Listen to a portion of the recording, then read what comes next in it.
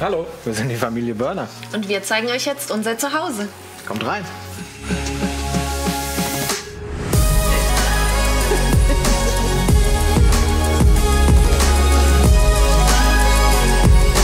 Das ist mein Mann Matthias. Ich bin die Diana. Wir wohnen seit letztem Jahr in unserem Traumhaus im wunderschönen Alzenau mit unseren beiden Kindern. Angekommen ist für uns das richtige Stichwort und natürlich für uns hier im Traumhaus, aber auch ähm, unsere Straße ist wunderbar, unsere Nachbarschaft ist wunderbar. Wir haben ähm, das Glück gehabt, dass hier auch Freunde neben uns gebaut haben und auch schräg gegenüber und tatsächlich, ähm, ja, weiß nicht, so den, fast der, der Club der Hansehausbauer. also in der Straße haben wir hier vier Hansehäuser mit unserem zusammen, sind hier in den letzten anderthalb Jahren entstanden. Und über die Freundschaft hinaus ist natürlich auch immer was, was Tolles, was Gemeinsames. Mhm. Ne? Also da hat man natürlich auch immer wieder einen tollen Anknüpfungspunkt. Ne? So, mhm. Damals, Mensch, wie war das bei euch bei der Bemusterung? Da haben wir uns dann eben die Infos geholt. Ähm, aber genauso sind heute natürlich noch die Häuser Thema und ähm, eigentlich auch immer wieder so ein bisschen das gegenseitige Bekräftigen, ne? wenn man vielleicht bei einem kleinen Absacker oder bei einem Feierabendbier hinten aufs Feld guckt, ähm, dass man sich schon immer mal in die Augen guckt und sagt, Mensch, haben wir doch alles richtig gemacht. Und ähm, ja, glaube ich, gilt für unsere Nachbarn genauso wie für uns. Mhm. Hier ist unser großer Eingangsbereich, ähm, wo wir schon geschaut haben, dass wir viel Stellfläche haben, aber er nicht vollgestellt wirkt. Dann haben wir unser Gäste-WC wo wir auch noch eine separate Dusche eingeplant haben. Von hier aus nehme ich euch mit ins Wohnzimmer. Mit unserem schönen Ausblick aufs Feld. Ja, und auch unser kleinstes Familienmitglied fühlt sich hier sehr wohl. Also von der Zeitspanne kann man ungefähr sagen, dass wir vor zwei Jahren mit der Planung begonnen haben, uns umgeschaut haben, ähm, welche Möglichkeiten gibt es überhaupt. Wir hatten verschiedene Optionen uns angeschaut. Ähm, bauen wir mit einem Bauunternehmer, ähm, nehmen wir uns einen Architekten oder haben uns auch mit dem Thema Fertighaus auseinandergesetzt. Wir haben dann wirklich uns mit beschäftigt, Holzständerbauweise, was heißt das eigentlich? Ähm, weil wir eigentlich auch eher so der Meinung waren, Mensch, Massivhaus, das ist doch was für die Ewigkeit. Mhm.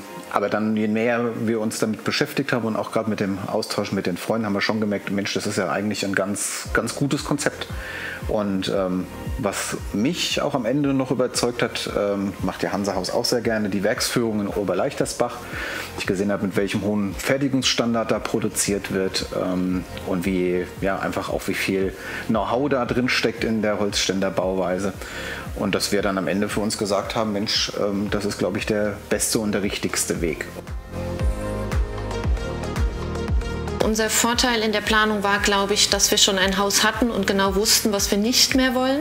Wir hatten so zwei, drei Eckpunkte, die uns wichtig waren und um die herum haben wir dann tatsächlich auch das Haus hier geplant. Das ist ein frei geplantes Haus. Uns war wichtig, großzügig zu planen. Wir haben immer viel Besuch, wir haben viel Freunde da, es soll Platz sein. Ne? Gerade im Wohnbereich, ähm, hier halten wir uns tagtäglich auf. Dann haben wir noch so ein paar Highlights, die dir wichtig waren. Ja. Die äh, Eingangstreppe, das genau. war so unser Dreh- und Angelpunkt, bis wir gesagt haben, wir wollen eingedrehte Treppe, die soll gerade sein. Und wir wollten auch diese offene Faltoptik, also keine Wange rechts, links. Hat schon viel dann in der Planung hier mitbestimmt. Und mir war beispielsweise ganz wichtig, große Garage. Ich habe auch immer von geträumt, direkten Zugang vom Haus in die Garage zu haben, eine große Einfahrt äh, zu bekommen. Und ja, das haben wir alles umgesetzt. Mhm. Viel Licht war uns wichtig. Richtig. Der Ausblick. genau, dass man hier den Ausblick genießen kann. Viele, wir haben viele Fenster, viele bodentiefe Fenster. Ja, und das waren die Fakten, mit denen wir zu unserem Berater sind und der sich dann wirklich viel, viel Mühe gegeben hat, dass alles so umgesetzt werden konnte, wie wir uns das vorgestellt haben. Wir wollten schon immer einen richtig, richtig großen Esstisch und unseren Essbereich konnten wir uns dann so planen, dass wir ihn uns auch erfüllen konnten, den Wunsch. Und von hier aus kommen wir in unsere Küche, die schön großzügig geplant ist, die viel Platz und Möglichkeiten bietet und wo sich eigentlich fast alle am liebsten aufhalten. Eins unserer großen Etappenziele war ähm, die Bemusterung in Oberleichtersbach, was tatsächlich von Vorteil ist, wenn man ähm, sich vorher die Zeit nimmt und auch mal nach Oberleichtersbach fährt und sich einfach schon mal anschaut, worauf kommt es denn schlussendlich an, über was muss ich Entscheidungen treffen, welche Auswahl gibt es vor Ort. Und das hat uns die zwei Tage doch schon ein Stück weit erleichtert. Ja, es ist auf alle Fälle ein äh, spannender Prozess in den zwei Tagen Bemusterung. Es ist anstrengend, aber wir haben uns schon jederzeit gut an die Hand genommen, gefühlt, weil natürlich was für uns als Bauherren total aufregend ist und natürlich für die äh, Kollegen und Kolleginnen in Oberleichtersbach bei der Bemusterung täglich Brot. Ähm, aber es ist schon so eine Mischung aus Sachen, die uns klar waren, wie Diana schon gesagt hat, aber auch Dinge, wo man sich bis zu dato überhaupt keine Gedanken gemacht hat. Ich weiß nicht, wie lange ich mein, wie tief mein Fensterbrett sein soll oder nicht. Aber auch da ähm, ja, findet sich immer ein Weg und eine Lösung. Was ich ähm, wirklich jedem angehenden Bauherr empfehlen kann, macht euch Gedanken im Vorfeld, aber auch nicht zu viel. Ähm, vieles ergibt sich auch einfach on the fly.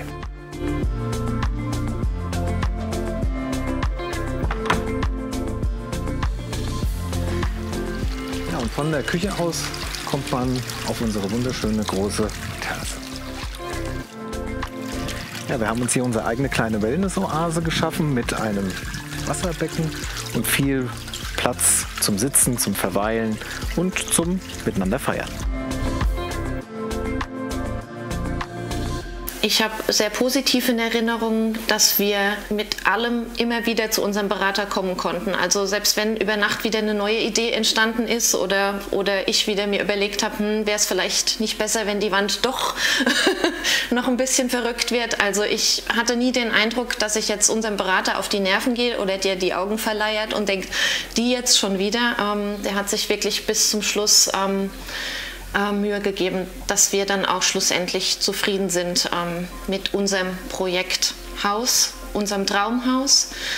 Und genauso war eigentlich auch die Bauphase. Wir haben ja dann von unserem zugeteilten Bauleiter dann auch den Ablaufplan bekommen, wann welche Etappen in welchem Zeitverlauf ähm, umgesetzt werden. Und da muss ich wirklich sagen, vom Erstellen der Bodenplatte über den eigentlichen Stelltermin ähm, bis hin eben zum, zum Finishing. Wir haben das Haus ähm, schlüsselfertig äh, gekauft. Hat das äh, alles wunderbar geklappt, war alles im Timing. Auch oben haben wir einen großzügigen Flur, der alle unsere Zimmer verbindet. Ähm, wir haben hier ein Kinderzimmer und drüben das zweite.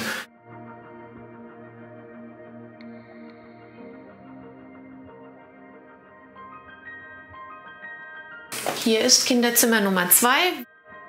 Genauso groß wie das andere, um Diskussionen zu vermeiden.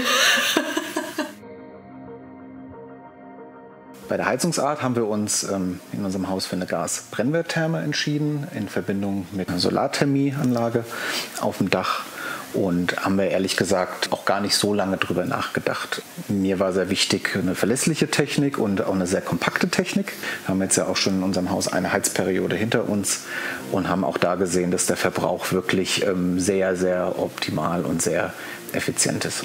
Ja, was mir auch wichtig war, ähm, ein energieeffizientes Bauen. Das Haus ist im KfW 40 Standard gebaut. Da haben wir ähm, von Hansa aus extra nochmal die Bodenplatte dämmen lassen, um eben auch entsprechend die KfW-Fördermittel nutzen zu können. Und das hat sich aus meiner Sicht auch schon super bewährt.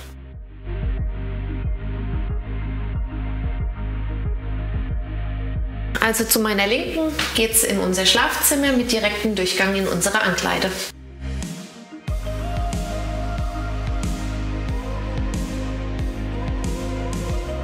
Ich hier oben auch ganz toll finde, ist egal aus welchem Fenster man schaut, man guckt immer ins Grüne. Und vor allem von unserem schönen Badezimmer aus, mit einem wunderbaren Blick auf unseren Weinberg. Und hier im Badezimmer eines unserer Highlights, unsere bodentiefe Dusche mit Sitzbank.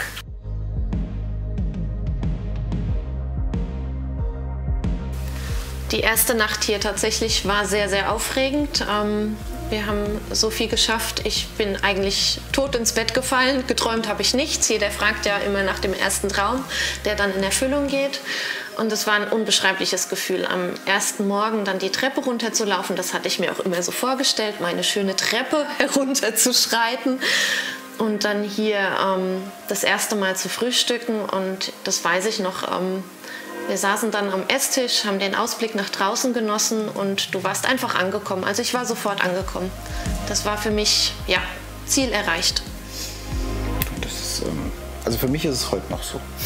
In manchen speziellen Momenten, wenn man wirklich so durchs Haus geht und das Licht schön einfällt, kommt immer schon noch so ein Moment, wo ich mir denke, so, Mensch, das ist, das ist jetzt hier genau so, wie wir, wie wir uns das ausgedacht haben. Und wenn ich so oben im ersten Stock in den Flur reingucke, dann ist der genauso, wie wir uns das irgendwann mal überlegt haben. Und das ist schon, also auch nach einem Jahr immer noch fast ein überwältigendes Gefühl.